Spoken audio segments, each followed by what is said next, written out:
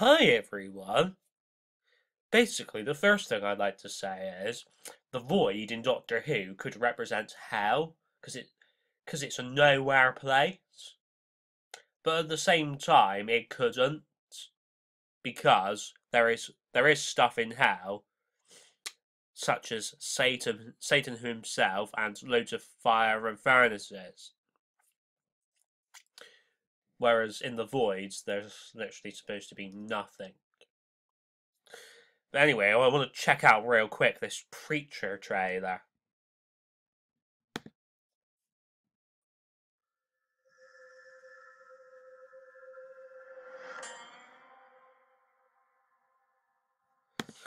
See this guy wearing a red hat for Satan?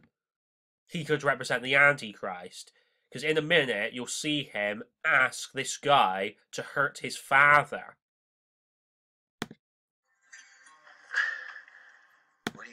See, he's played by Dominic Cooper, this preacher guy. And he hurts people. Dominic Cooper is the same person who plays Howard Stark in Agent Carter. And he's um and he's also in Captain America the First Avenger. So he's Tony Stark's dad, basically. Kid. It's about my dad.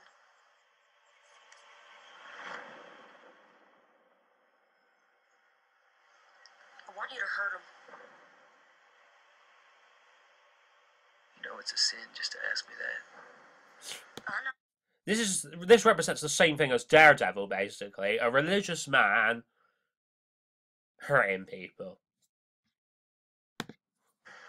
People said before you were a preacher, you did things.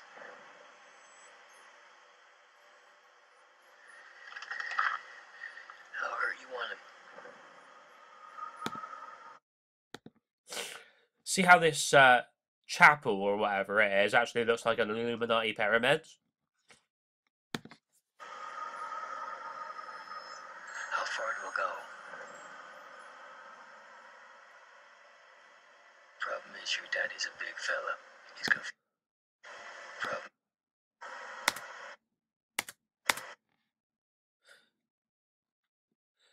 See here it says king. Just like this guy is the king of the Illuminati. And see that he's got a, a bow tie on? Well, this guy's got a bow tie on as well, so this guy could represent that clown. Is your daddy's a big fella. He's gonna fight back. Will escalate. That's what these things do. They escalate. Violence makes violence. So, things escalate and violence happen. Happens. Just like what happens in Gotham. And just like what is happening in real life. See if things happening on a plane again. Just like 9 11 was to do with a plane crashing into the towers.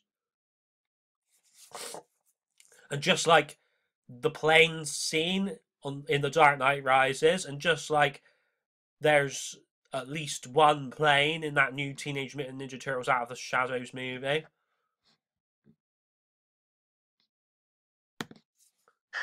Makes violence. Makes nothing much at all. Preacher! Makes nothing much at all. See, wait, wait, wait a second, wait a second. Makes nothing much at all. See this guy jumping out of the plane? Just like the turtles jump out of the plane, remember? Preacher! Enough! Almost done, Sheriff. Is that what you want, kid?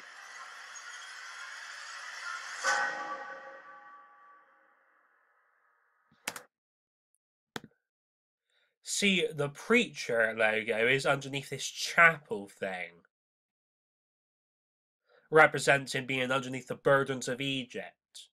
Because this chapel thing represents Egypt because it looks like a pyramid. The preacher logo is, is even red for Satan. And in the background, it looks like there's like fire and stuff representing like nukes going off and the fire in hell. Jesus, what kind of a preacher are you?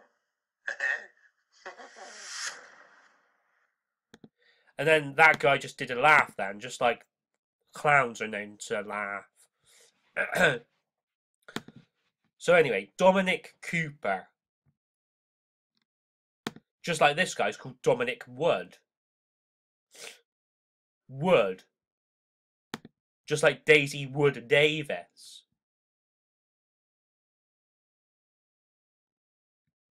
Also, see the D in Daisy and the D in Davis and the D in Dominic. Remember this Frank Castle guy in Daredevil? Basically, the Punisher. He's called. Well, he's a fighter. Just like Frank Bruno is a fighter. Two Franks who are fighters. This F represents fighters, but it also represents the fifth age. So his last name is Bruno. Just like this guy on Strictly Come Dancing's first name is Bruno.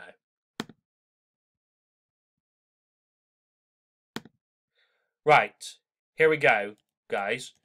All I did was type in Strictly Come Dancing 5 score, and this came up as the first image. I wasn't even searching for this, guys. I just found it accidentally. Right. See this this Craig guy has got a 5 for representing the fifth age. And then, of course, you see here 666. Basically, 666 is the number of like Satan and the Antichrist.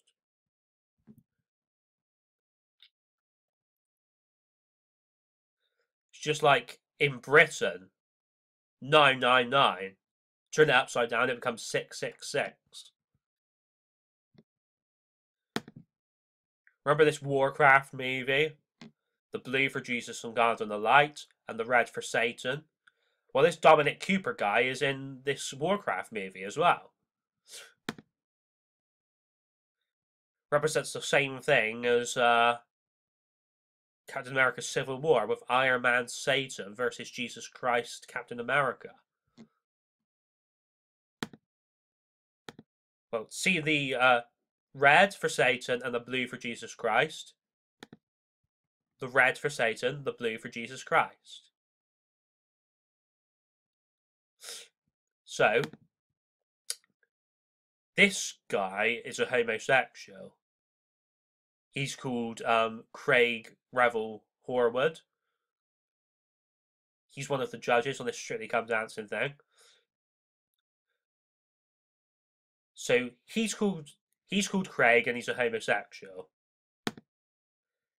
Just like this guy's called Craig and he's also a homosexual. He's called Craig Dean. So it's almost like they use this Craig name to represent homosexuals. So, like, even this Steve Hay character in the Hollyoaks, he's he's also a homosexual. So,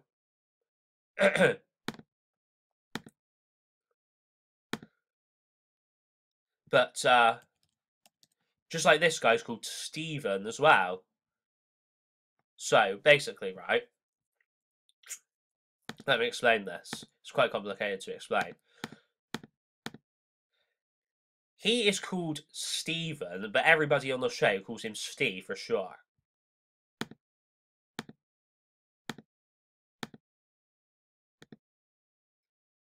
Now, this character in Doctor Who is also called Stephen.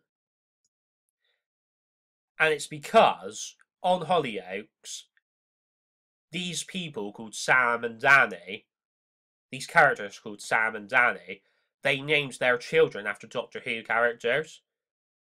So, basically, right, Stee is named after him. But Stee is not Sam's biological son. He is just Danny's biological son. So, by the way, this um Dodo actress, Jackie Lane, um, she gets a lot of bad press. Like some people call her one of the worst companions ever. But she's actually one of my favorite companions, to be honest, because I, re- I reckon she's got a fun personality, and I reckon she's quite sexy as well. See these circles on her? They represent the wheel of the Great Tribulation. And this robot right here re- represents the Transformers, the robots in iRobot, the droids in Star Wars, etc., etc. Even this thing on the robot's head represents the wheel of the Great Tribulation. So anyway, right. See, let's look at these stripes um, on his shirt. See the white for heaven and the black for the darkness. Just like we show, as we showed before, on that Michael guy's shirt um, from Angry Grandpa. And um, basically, even though this character Stephen is not homosexual, he was always portrayed as uh, as quite camp. Um, this is nothing nothing against Peter Purves, by the way, because I think he's a fantastic a, a fantastic actor. Because um, he's one of my favorite companions. But I think that they unfairly made him appear camp, even though he didn't want to be. I have nothing. I have nothing against homosexuals, by the way. I'm just. I'm just saying what the Illuminati put in front of us all of the time. And it's not just the Illuminati. Some of it is spiritually done by God and Jesus.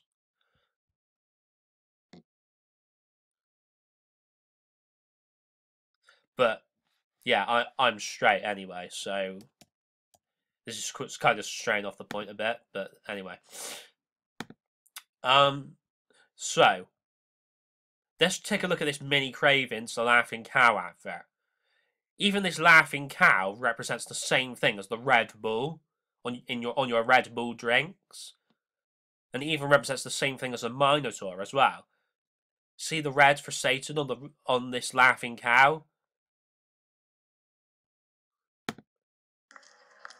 See, she's wearing blue for Jesus and God of the Light. I know this may look white to some people, but it's actually light blue. Remember how uh, Mia Wasikowska in Stoker was wearing light blue?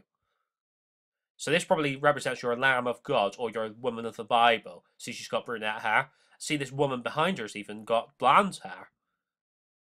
So she could she could represent the same person as her. And then we have a basket right here. Remember the woman in the basket thing? It's 5.45. And then you see the blue for Jesus and God and the light. And the red and yellow for Satan. Remember, Iron Man's armor is made up of red and yellow. Cravings are back. See all this green for Islam. And then you see the two doors. Representing the door that you have to go through with Jesus Christ to get into heaven. The doors are blue for a reason because they represent Jesus and God and the light. These windows in the background represent like the looking glass windows. Window, I should say. Just like my friend is called Robert Windows.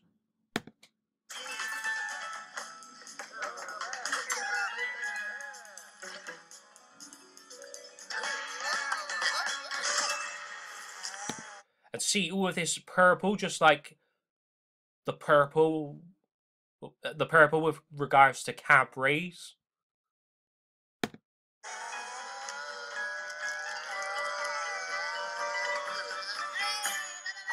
New mini cravings from the Laughing Cow. Feed your mini craving. And again, the green for Islam. This probably represents the hands of God or the hands of the woman of the Bible.